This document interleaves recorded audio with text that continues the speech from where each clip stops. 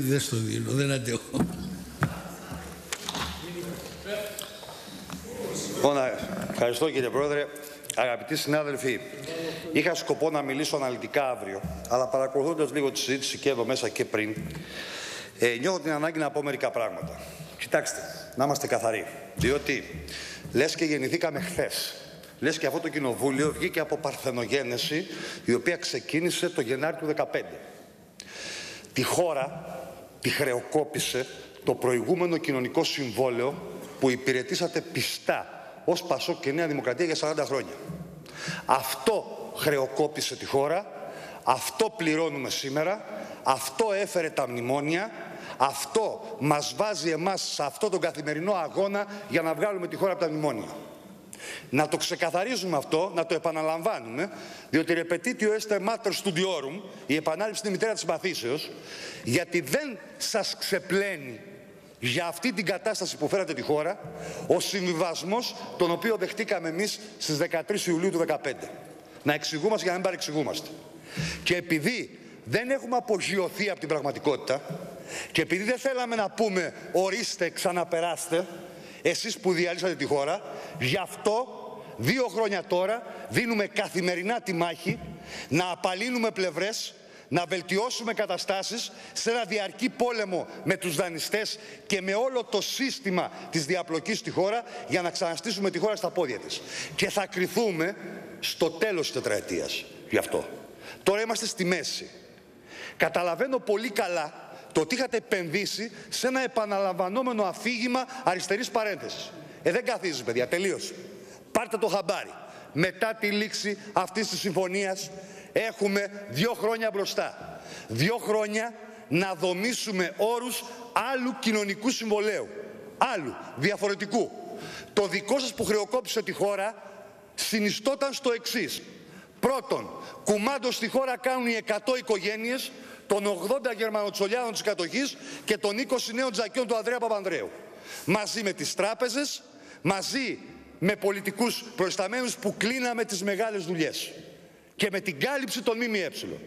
Το δεύτερο μέρος του κοινωνικού συμβολέου ήταν, και το έχετε υπηρετήσει όλοι σας αυτό, ένα βαθύ πελατειακό κράτος που ξεκινούσε μετά τον εμφύλιο έφτανε μέχρι τις μέρες μας όταν ο Αντρέας Παπανδρέου διόρισε τη μισή εαμογενή Ελλάδα που ήταν στην απέξω στο κρατικό μηχανισμό και έφτιαξε το δικό του κομματικό στρατό και τις εξυπηρετήσεις τις οποίες κάνατε όλοι στο δημόσιο τομέα αλλά και παρά έξω.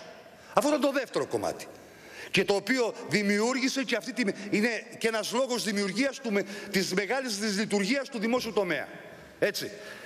Και το τρίτο στοιχείο του κοινωνικού συμβολέου ήταν οι πελατειακές οικονομικού χαρακτήρα εξυπηρετήσεις, οι οποίες ήταν από τις συγκεκριμένες φοροαπαλλαγές ή μικρές δουλειές σε διάφορες κοινωνικές ομάδες ανά τη χώρα, παράδειγμα ο ΟΑΣΤ Θεσσαλονίκης, έτσι, το οποίο λειτουργούσε και ο συγκεκριμένο, πώς το λένε, χώρος αναπαραγωγής πελατειακής μέσα από μια αφιδή κρατική χρηματοδότηση, έτσι, ε, αντίστοιχες συμφωνίες με μια σειρά κοινωνικά και μεσαία στρώματα και βέβαια με την τεράστια διάχυση της διαφοράς, όπου εκεί το Πασόκ αναδείχθηκε σε πολύ μεγαλύτερο καθηγητή από εσά, διάχυσης μαύρου χρήματος, όταν το σημητικό μεσαίωνα 96 με 2004 έγινε ναι, ε, το σημητικό μεσαίωνα 96 με 2004 έγινε νόμος κίνησης της κοινωνίας μας η μίζα και το παξίσι για οποιαδήποτε δουλειά. Αυτό το κοινωνικό υπόδειγμα χρεοκόπησε τη χώρα. Να μην ξεχνιόμαστε. Γι' αυτό μπήκαμε στα μνημόνια. Εμείς τι θέλουμε; Δεν θέλουμε να ξαναγυρίσουμε στο 2009, ούτε στο 8 ούτε στο 6. Θέλουμε μια άλλη κοινωνία μια, ένα άλλο κοινωνικό συμβόλαιο το οποίο με αυτή τη συμφωνία κερδίζουμε χρόνο για να αρχίσουμε να το διαμορφώνουμε. Και να το πω πολύ συγκεκριμένα. Μέσα στο νόμο και στη συμφωνία υπάρχει το νομοσχέδιο για τις προμήθειες στον χώρο της υγείας. Εκεί που παίχτηκε το 1 τέταρτο του χρέους της χώρας. Είπε κανείς σας καμιά κουβέντα γι' αυτό και δεν την άκουσα. Δεν άκουσα καμιά κουβέντα. Δεν το διαβάσατε, δεν το είδατε, δεν προλάβατε να το διαβάσετε αυτό. Όπως μας κατηγορούσατε. Είναι μια τεράστια θεσμική τομή αυτή. η οποία είναι απλή στη σύλληψή της, δεν είναι τίποτα ανώτερα μαθηματικά, αλλά είναι πολιτική επιλογή συγκεκριμένη, η οποία λέει ότι διαμορφώνω μία ενιαία κεντρική αρχή προμηθειών, η οποία θα έχει σαν καρδιά της μια ηλεκτρονική πλατφόρμα με τέσσερα μεγάλα μητρώα το πρώτο είναι ότι θα έχω όλους τους προμηθευτές και όλα τα προϊόντα και τις υπηρεσίες, τους προμηθευτές πιστοποιημένους και καταχωρημένους, όχι τον κάθε σκιτζή, τον κάθε dealer, τον κάθε ενδιάμεσο που το έπεσε μετά πράτης μεγάλων εταιριών να κονομάει το μισό κέρδος από την τελική ε, τιμή του προϊόντος. Και δεύτερον, ότι τα προϊόντα και οι υπηρεσίες θα έχουν το ίδιο όνομα. Το ίδιο όνομα. Και όχι το ίδιο ακριβώς υλικό, να το αγοράζει με άλλο όνομα ο Ευαγγελισμός, με άλλο όνομα το κρατικό της Νίκαιας, με άλλο το Πανεπιστημιακό της Λάρισας, με άλλο η Αλεξανδρούπολη, σε τέσσερις διαφορετικές τιμές. Αυτό είχατε κάνει. Δεύτερον, θα έχει ένα μέσα στα Μητρώα, θα υπάρχει αρχείο εύρους αποδεκτών τιμών. Είναι καμιά τεράστια σύλληψη. Δεν μπορούσατε να το κάνετε. Δεν είχατε τα μυαλά για να το υλοποιήσετε. Σε άλλες λουμπινιές μια χαρά μυαλά είχατε. Αυτό γιατί δεν το φτιάχνατε. Δηλαδή, ότι όταν παίρνω λαπαροσκοπικά χειρουργικά εργαλεία για τα νοσοκομεία μου, θα πρέπει να ρωτήσω, ήρθε ο κύριο Σταϊκούρα που ήταν επί των οικονομικών, θα πρέπει να βάλω ένα επιτελείο, να κάνει μια έρευνα αγοράς και να δει πώς τα παίρνουν οι Γάλλοι, πώς τα παίρνουν οι Βέλγοι, πώς τα παίρνουν οι Ελβετοί, πώς τα παίρνουν οι Κινέζοι, πώς τα παίρνουν οι χώρες της Λατινικής Αμερικής. Αυτό εκεί, εκεί δεν είμαστε Ευρωπαίοι, δεν έπρεπε να το δούμε που θα είναι ένας μπούσουλας στο τι προϋπολογισμούς θα βγάλω για τις αγορές αυτές. Και θα κάνω κεντρικούς διαγωνισμούς με συμφωνίες πλαίσιο, όπως περιγράφει ο νόμος που ψήφισε το Υπουργείο Ανάπτυξης, για να δεν θα οδηγηθώ σε υπερμονοπόλιο, εννοείται, έτσι, που όλη μου η χώρα να προμηθεύεται το ίδιο προϊόν στην ίδια τιμή. Φιλοσοφία μεγάλη. Για δεν το κάνατε τόσα χρόνια, 40 χρόνια.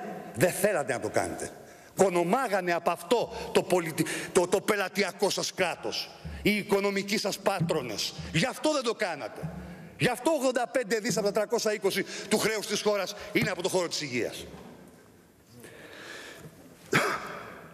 Περιγράφουμε μια ολόκληρη διαδικασία. Πολύ θα θέλαμε να ακούσουμε την κριτική σας. Αλλά μούγκα σε αυτό από ό,τι βλέπω. Ελπίζω αύριο. Πολύ θα θέλαμε να ακούσουμε την κριτική σας. Για τον τρόπο τον οποίο οργανώνουμε αυτή την ιστορία, η οποία, να το πω χοντρά, και ποιος ο σχεδιασμός. Γιατί υπήρξε μια τέτοια ψήλο προσπάθεια από τον κύριο Λοβέρδο, η οποία έμεινε στα χαρτιά, για άλλους λόγους, προφανώς πολιτικούς, που όμως που, που, που, πάταγε. Λέει θα το κάνω και θα το κάνω όλο μαζί. Όλο μαζί δεν γίνεται, παιδιά. Όταν έχεις στηθεί ένα πράγμα έτσι 40 χρόνια, όλο μαζί δεν γίνεται. Αλλά γίνεται τιματικά συγκεκριμένα και με σχέδιο. Γι' αυτό μιλάμε και για επιχειρησιακά σχέδια και να το πω με μια κουβέντα για να το καταλάβετε. Φέτος στα νοσοκομεία δώσαμε 320 εκατομμύρια ευρώ σε υγειονομικό υλικό. Δώσαμε 135 εκατομμύρια ευρώ σε αντιδραστήρια. Δώσαμε 75 εκατομμύρια ευρώ σε ορθοπαιδικό υλικό. Σταματάω εδώ, υπάρχουν και άλλες κατηγορίες. Θα πάρω φέτος, την πρώτη χρονιά, 50-60 εκατομμύρια από τα 320 και θα τα βάλω στη διαδικασία την κεντρικοποιημένη. Δηλαδή, για παράδειγμα, μια σειρά από χειρουργικά εργαλεία μίας χρήσεως πολλαπλών που μου κοστίζουν περίπου τόσο, θα το ονομάσω με τον ίδιο τρόπο, θα πιστοποιήσω τους προμηθευτές, θα κάνω έρευνα αγοράς να δω πόσο πουλούνται έξω, θα κάνω προϋπολογισμό των αναγκών μου, θα καταγράψω τα μη αναλωμένα που υπάρχουν αυτή τη στιγμή στα νοσοκομεία μου, θα βγάλω τις ανάγκες, θα βγω σε διαγωνισμό και να είστε σίγουροι ότι θα πετύχουμε σε σχέση με τα 50 εκατομμύρια που δίναμε τουλάχιστον 30 με 40% με το καλημέρα καλύτερη δυνατότητα τιμής και τέτοιο. Και πάω τώρα στο κοινωνικό συμβόλαιο. Τι κάνατε μέχρι τώρα, τι επιτρέπατε και ποιο ήταν ένα μέρος του κοινωνικού συμβολέου για το χώρο της υγείας, ήταν ότι δεν σε πληρώνω όσο πρέπει, αλλά σου επιτρέπω να παίρνεις το κομμάτι της μίζας που σου αναλογεί από αυτά που διπλο-τριπλοπληρώνω σε υλικά φάρμακα και δραστήρια. Αυτό ήταν το κοινωνικό σας συμβόλαιο. Και αυτή ήταν και η κοινωνική συμμαχία με το ιατρικό και νοσηλευτικό δυναμικό της χώρας, των ανώτερων στελεχών για τους νοσηλευτές, με το οποίο έτσι υλοποιούσατε τα 85 δις του δημόσιου χρέους. Εμείς δεν θέλουμε αυτό. Προσέξτε, σκεφτείτε. Δεν δίνατε μισθό πληρώνατε 10 φορές απάνω ένα εργαλείο. Και τι έκανε η φαρμακευτική ή η εταιρεία του υγειονομικού υλικού, πλήρωνε το γιατρό είτε σε είδος είτε σε χρήμα, είτε τα διοικητικά στελέχη του μηχανισμού. Από ποια τι επιβγαίναν όμως αυτά, είτε από τον κρατικό προπολογισμό, είτε από τα ασφαλιστικά ταμεία. Δηλαδή από τον Έλληνα πολίτη. Ε, λοιπόν, εμάς η ιστορία είναι το νέο κοινωνικό συμβόλαιο, και εδώ θέλουμε συμμέτοχους τους από κάτω, είναι ότι πρέπει να αμυφθεί η ζωντανή και πραγματική εργασία και όχι το υλικό, το προϊόν ή το αντιδραστήριο. Θα πρέπει λοιπόν να, να δώσουμε, να πληρώσουμε στο πραγματικό τους ύψος αυτόν τον εφοδιασμό και όλη την εξοικονόμηση να μεταφραστεί σε ολοκλήρωση υποδομών, σε προσλήψεις καινούργιου προσωπικού, σε αυξήσεις αμοιβών που πρέπει να πάρει όλο το υγειονομικό δυναμικό της χώρας. Αυτό είναι το σχέδιο του επόμενου κοινωνικού συμβολέου. Ναι, θα φτάσουμε στα 6 δις, στο 6% του ΑΕΠ, όταν, σε ποιο ΑΕΠ όμως, όχι στα 170, στα 200 και 210, όταν θα ξαναγίνουμε κανονική χώρα, όταν θα έχει πιάσει δουλειά κόσμος, θα έχουμε μειώσει τους ανέργους. Σε αυτό το ΑΕΠ θα δώσουμε το 6-6,5%, θα δώσουμε αυτό που αναλογεί στο ανθρώπινο δυναμικό και, και στο καινούριο που θα πάρουμε θα βάλουμε στο πραγματικό ύψος τον εφοδιασμό από τον ιδιωτικό τομέα σαν υλικά φάρμακα και αντιδραστήρια και αυτό θα είναι το στατικό στοιχείο του νέου κοινωνικού συμβολέου. Έτσι θα το πάμε. Αγαπητέ αυτό θα κάνουμε. Υπουργέ. Λοιπόν, και μια κουβέντα έφυγε ο κύριος Σταμάτης, μια κουβέντα, ε, γιατί μου είπε να πάω να του φεκίσω κανένα λαγό, εγώ κυνηγώ, έτσι. Λοιπόν, ε, και θα του έλεγα μια ματινά, αλλά δεν είναι εδώ τώρα, σε σχέση με το κυνήγι. Λοιπόν, ε, να σου πω, θα σε ακολουθώ τσιπέρδι και θα στέκω πέρα-πέρα να μετρώ τσιμπαλωτές που παίζεις του αέρα. Γιατί τόσα χρόνια παίζατε μπαλωτές στον αέρα για τη διαπλοκή. Ενώ εμείς βαράμε κέντρο. Σ' άρεσε ματινάδα, κύριε Βορύδη; Μπράβο. Λοιπόν, λοιπόν, ε, όχι, μια κουβέντα. Ωραία, κλείνω με αυτό. Απλά ήθελα να του πω ότι τα 50 από τα 85, έτσι, είναι ανακεφαλαιοποίηση των δικών τους δανείων. Έτσι, είναι ε, δανεισμός ξανά για να εξυπηρετήσουμε τα δάνεια τα δικά τους.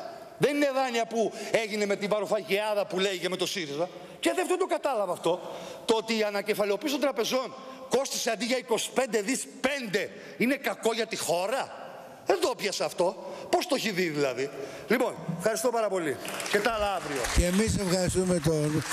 Θα, θα μου επιτρέψετε μία τελευταία παράβαση, παρακαλώ κύριε Κουτσούκου. Δεν είναι δυνατόν τώρα.